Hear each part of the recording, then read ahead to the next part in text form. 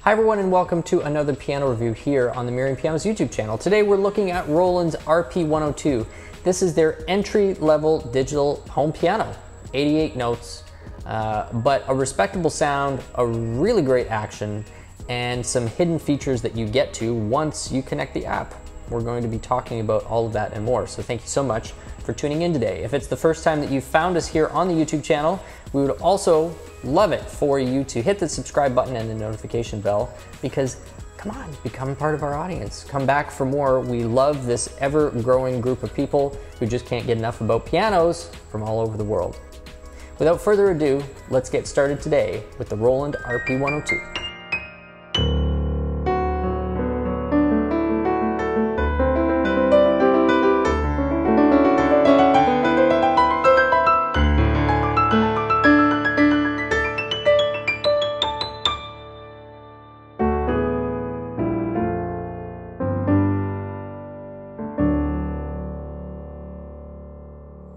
This is the Roland RP102, and the year is 2021, which makes this, I believe, either the oldest or the second oldest Roland product still in their current lineup in terms of uh, when they launched the product compared to everything else that's currently being offered.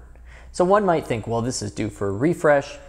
Does it really still have a place in today's market if I'm going out right now uh, heading into 2022 and looking for a digital piano for an affordable budget. So I thought we'd take a look at it and find out. From a spec standpoint, the RP102 sits right in between kind of the FP10 and the newer FP30X, and probably a little closer to the FP10 than anything. And this product used to go really quite nicely up against, say, the Kawai KDP70, uh, and I guess in some ways also uh, sort of sits and competes uh, with the uh, Yamaha YDP 144. So it's a basic home digital piano. It's got 88 notes on it. Uh, it's got a uh, quite a respectable action for the price of the unit, and it's got a bunch of sounds. It's got some basic features. Um, so we're going to start by talking about the sound first. We'll talk about the action. We'll talk about the features, and then at the very end, we're going to sort of summarize how this stacks up against today's market and whether it's still a good unit to take a look at. So beginning with the sound, this is equipped with a tone generator on it that puts out 128 notes worth of polyphony. That is, uh, by today's standards in this price point, kind of medium. It's not the lowest you get, it's not the highest you get. It's just sort of down the middle of the road um, boy, things have changed. 128 notes worth of maximum polyphony used to be the gold standard if you go back 15 years. 10 years ago, it was still on the high side. Now it's like, ah, yawn. Everybody does 128. And for those who don't know what polyphony is, check out the separate video. We've talked about polyphony. Essentially, it's the number of sounds that this can simultaneously uh, produce uh, before you know the, the, the guts, the electronic guts basically just uh, completely run out of runway, if you would. So it's got 128 notes worth of polyphony, which means for the majority of solo piano playing, you're fine. You're never going to hit that limit. Uh, it also uses uh, Roland's Supernatural piano engine, which is a combination of both a multi-layer piano sample as well as some synthesis that goes around the top of it. Essentially, it allows uh, things like string resonance and damper resonance to be synthesized, key off sound, all that kind of stuff to be synthesized and added to a core sample. And Roland doesn't talk about how many layers of samples go into each you know, version of its supernatural engine, but we think it's probably somewhere in the four or five range. It would be consistent with some of the other manufacturers uh, and what they've done uh, sort of for this price point. So it's got uh, the 128 and it's got the supernatural engine. And that supernatural engine is driving a pair of 6 watt speakers uh, which again by today's standards is getting on the low side. However when you actually get behind the rp102 and you play it through those speakers you get a remarkably big sound. Not necessarily warm and not necessarily deep because the only way you really get that is with kind of a larger um, either a larger resonating chamber or a larger uh, you know speaker size. Um, so something like the Kawai KDP 120 with 40 watts, you're getting more of a warmth and a woofiness down there uh, to round out that bass tone. But this is still remarkably clear sound for something that only has a total of uh, 12 watts worth of rated output power. The other thing I noticed is that this instrument compared to say the FP series, the FP10, the FP30X on Roland, you get more treble out of this instrument straight to the ear than you do out of those other instruments, which I found interesting because all three of those pianos have downward facing speakers. This also has two downward facing speakers, but for some reason, you actually get more treble presentation to the ear than in those other ones. So enough of the yakking without some playing. I'm going to uh, just play this on its default piano mode uh, so that you can hear uh, the tone generator we just talked about, you can hear uh, the speakers we just talked about. Here we go.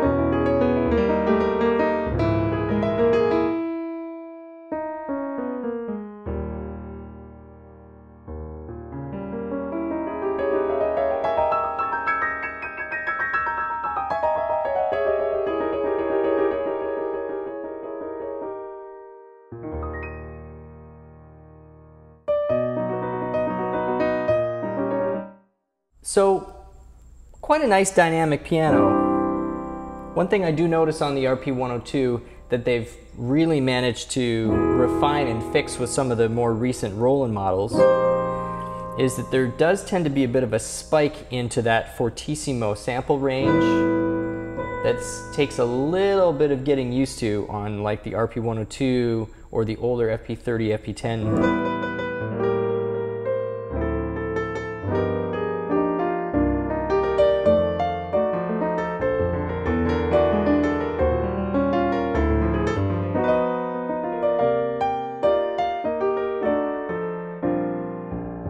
you're there kind of trying to voice chords and uh, just bring out that top note without hitting that really strident fortissimo.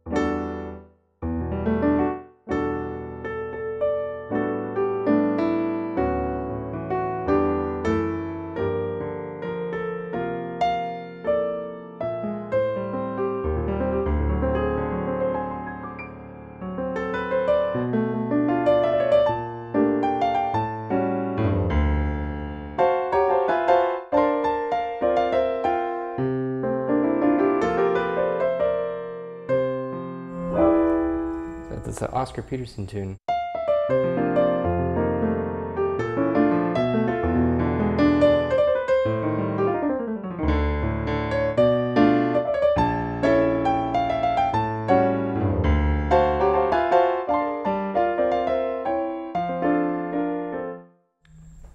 Anyway, so you can iron those kinds of things out with touch curve.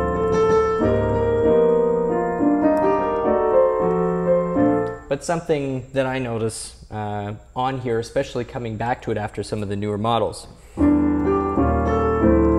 what we're hearing is the default piano sound. Now, this is equipped with Bluetooth, something I was going to mention later, um, and it does not work with the newest Piano Everyday, but you can still use it with the Piano Partner 2. And in doing so, you have access to four acoustic pianos, concert piano, which is what we've been hearing, and then ballad piano,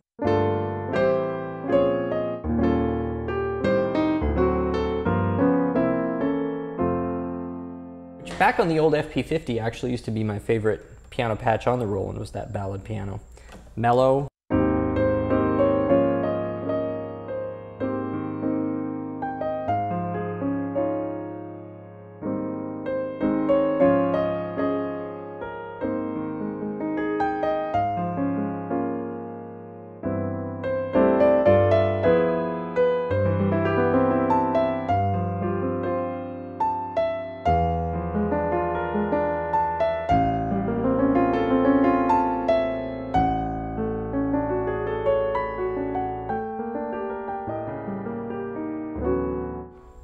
Bright piano.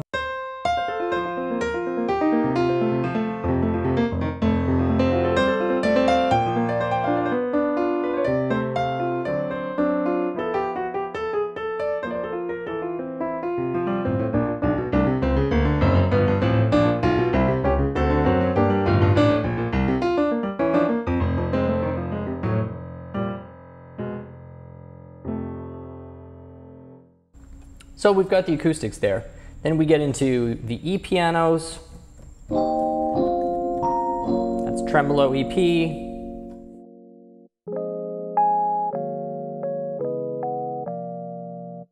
Vintage EP.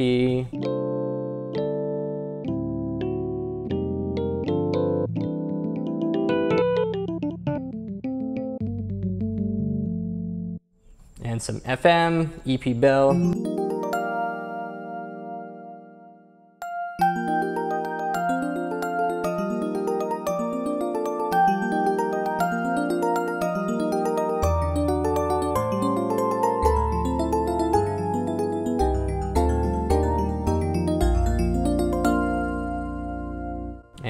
Clav.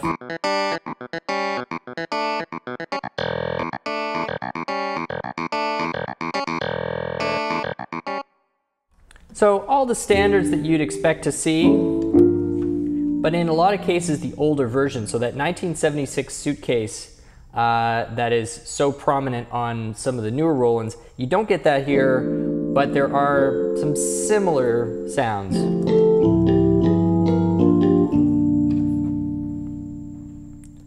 A lot of the same samples or uh, sound set that you get on the FP10. Um, pipe organs.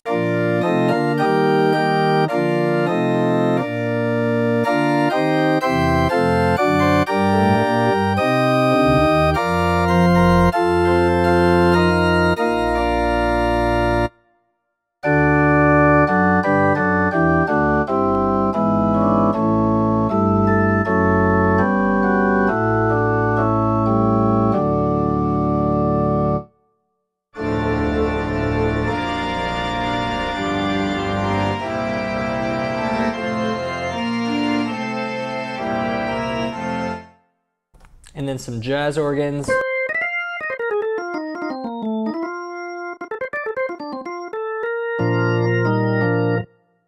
A few of those. I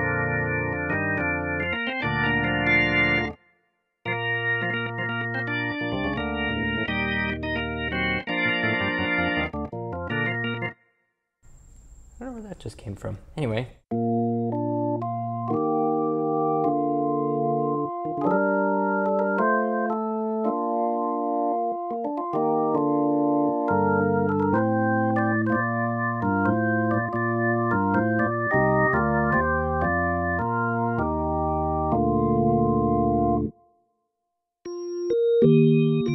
So a lot of really still usable, still functional uh, patches in there.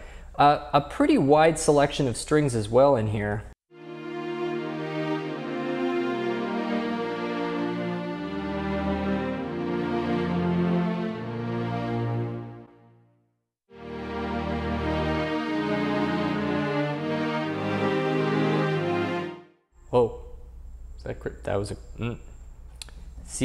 Appropriateness.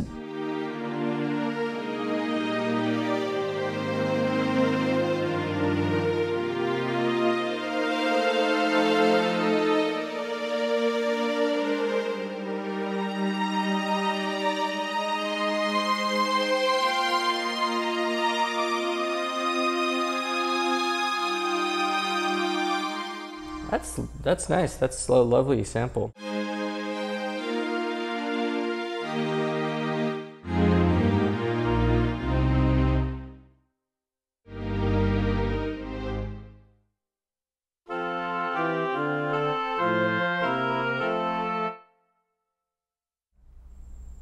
These are nice.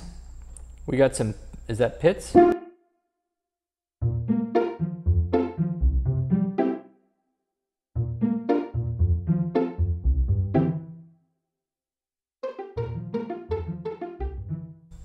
and some jazz scat.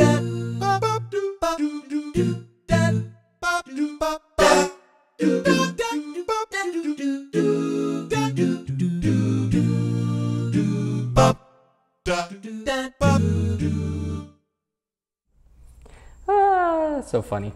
Uh, and then you've got another set of upright, classical, and drums. So I mean, there's a really wide range of tones that are included on there before you even get into the General MIDI 2 patch, which is also available uh, through this when you use the app. So they don't make it available through the onboard controls. They kind of are forcing you into the use of the app, which is uh, whatever. Um, it is Bluetooth, so at least you don't have to get the cable out. But if you do that, you do get access to, for its price range, a monstrous level of sound selection. So that's what we're going to talk about with sound before we move on to a quick discussion of action. Uh, and to summarize, you know, not necessarily bassy, but very clear, crisp, non-harsh speakers, which is impressive for their rated size. We've got the 128 notes worth of polyphony, which is which is ample for a beginner player up to probably a moderate medium player, whether it's a classical or contemporary. And the big thing with the sound is just the sheer selection and overall a pretty high quality of those samples coming out of the Roland RP102.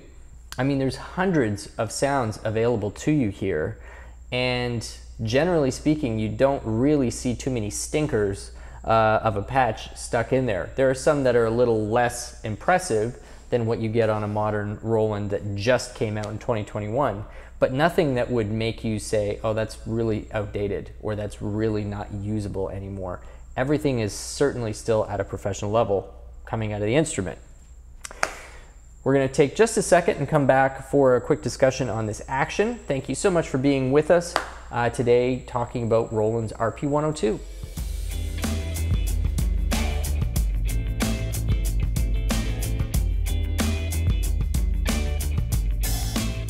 One of the biggest features that I have always consistently talked about when it came to the RP102 and honestly the FP10 or back then the FP30 was the fact that Roland was including the PHA4 action in instruments of this price point because I think the PHA4 is a great action. I mean, it's a very personal thing. Other people have favorites within uh, you know, various manufacturer lines. We've got a lot of Kawai favorites here on the channel, but we've got a lot of people who really like uh, some of the Yamaha actions or some of the Korg actions uh, or some of, uh, you know, the Casio actions even have some, um, you know, have some major fan clubs out there. But for its price, I've always strongly advocated uh, for the PHA4. Uh, this is because it had escapement, which is not, it, it's more than just a talking point. If you play uh, a lot of finessey kind of stuff, some subtle, quiet stuff where uh, dynamic control in the lower half of the dynamic range is important to your playing. Escapement makes a difference. It does I, I don't know. I'll say that till I'm blue in the face. It does make a difference. It makes it easier for your finger uh, to really sense where you're at uh, in terms of um, you know the travel on the key and the pressure you're applying to the key. Just it's it's an extra little reference point your finger has, and I think it makes a difference. So it has that. It's got triple sensor, which for the typical playing setting makes no difference at all. But if you are going to be using this for MIDI input, if you're going to be having this connected to an app or you're going to be doing any kind of recording, triple sensors are really good to have. Uh, it creates a more even um, distribution of, of, MIDI across the 0 to 127 you know, data point range uh, as part of the MIDI language. Um, you avoid missed notes or spiked notes if you're playing really, really quickly. So a triple sensor, generally it's a, it's a good thing uh, if you're using it for that application. So the PHA-4 had both of those. Thumbs up in my book. Then it also uh, came out and had, uh, it wasn't the first one that Roland did, but in, again, in this price range, had a textured white key top. It doesn't cost Roland a lot to do this, but it is more expensive than just a shiny white piece of plastic. There is a cost difference there. So I think the fact Roland did it um, is a good thing. I think any type of texture, whether it's the one that Roland puts on there, or, you know, Yamaha textures some of their um, more expensive uh, keyboards. Uh, Kawai does the same, Casio does the same. So they all do it at some level. Um, but when it's there, it does create an easier time of gliding over or, you know gripping the key. So they did that as well as the black note. And just generally, I like the geometry of the action. Feels good. It doesn't feel too light. It doesn't feel too heavy. The repetition speed uh, is really great on the action. And it's not crazy noisy. Uh, it is noisier on the way down than on the way up, which is like the opposite problem to say what the Kawais used to have, which was it was pretty quiet on the way down, but as soon as you release the note, it was noisy on the way up um, which I think is more disconcerting to people because once you've released the key, you don't expect it to make a sound. So all kinds of people constantly saying like, what's wrong with the Kawai? Not 2021, but if you go back before they added that extra padding, um, we did get a decent number of questions where people thought possibly there's something wrong with the action. Like, no, that's just how they padded it. But the Roland was a little noisier on the way down, but not so noisy that your neighbors are going to complain. Um, but a little louder than Kawai and a little louder than uh, what you'd get on Yamaha. But anyway, so this is the PHA-4. Generally speaking, I, in my books, the best all-around action that you could get for any keyboard or digital piano in the $1,000 USD range and under. There wasn't any other one that I would, I would prefer. And where it sits right now, I do like what Kawai's done with their new RHC2 action with the additional padding, which why not just call that RHC3 Kawai? Just a question. Since you had the RHC2, this has been another modification. Third generation, but just still called RHC2. And that is the one that you can find on the newer uh, KDP 120. I do like that action as well. I still think for the majority of playing settings, my preference as, as an action is, is with the PHA-4. So We've got all that on the RP102. We're going to come back for a third discussion on features and functionality other than what we've already touched on. Thanks so much for being with us. We'll see you in a second.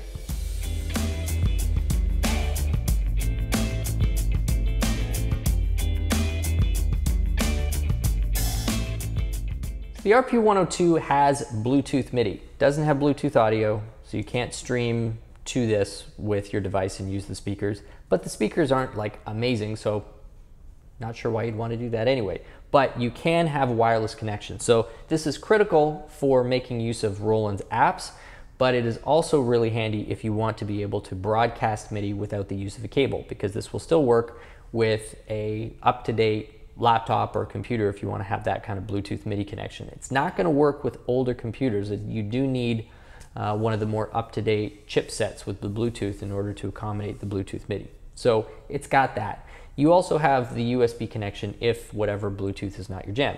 You can do that too. It's got two headphone jacks, one quarter inch and one 3.5 mil. Uh, and unfortunately, it does not have the feature that some of the more recent Rolands have where you can still keep your local speakers on if you were sending this out to some sort of either headphone or an amp or something like that. Uh, so that's, which is always the way it used to be, but now, thankfully, some of the more uh, up-to-date models out there are giving you the option of having your local speakers on or off, independent of the fact of whether you're sending something out of your headphone jacks. So it's got the two headphone jacks. It's got three pedals. It comes with the full set of stand, kit and caboodle, and it comes only in this kind of satin black. It's it's a very durable matte black finish. It's kind of an institutional uh, look, but it's very difficult to damage. Uh, it's not necessarily going to look as pretty to some people as some of the veneers that you can get on other ones, but it helps Roland keep the cost down. Uh, it also comes with a sliding key cover. As you can see, it comes with a music desk. Uh, and it also comes with a bench. It includes a bench.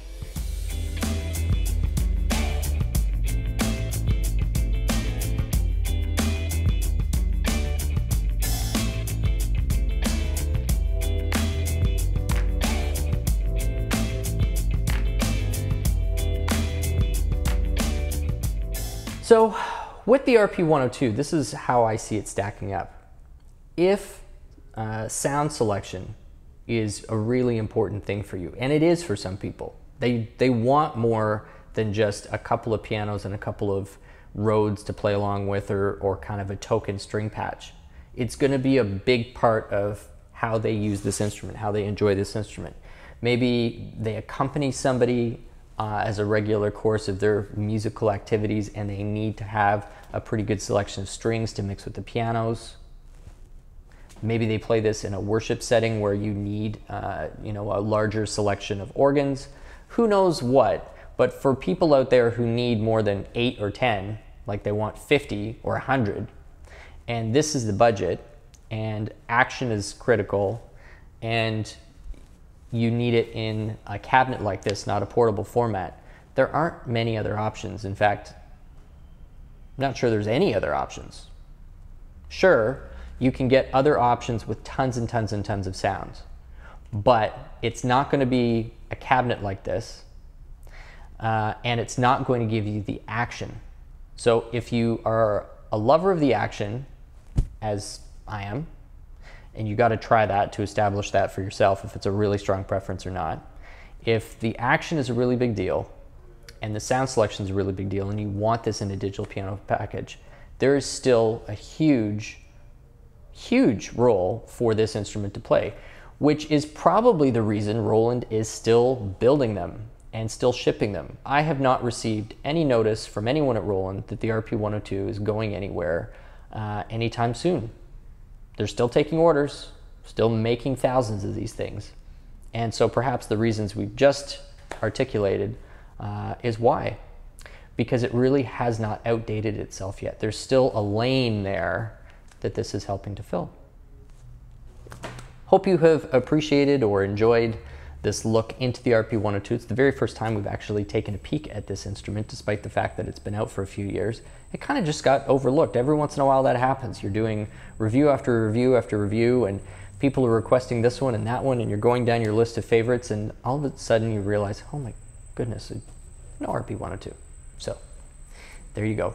If it's the first time that you have uh, come and tuned in to the channel here. We would really appreciate if you subscribed because we would love to have you as a commenter contributing to the discussions. We love engaging with the discussion below. So please hit the subscribe button and the not notification bell because we'd love to see you back for more videos in the future. Anyway, my name is Stu Harrison. This has been the Roland RP102 and we'll see you back for more soon.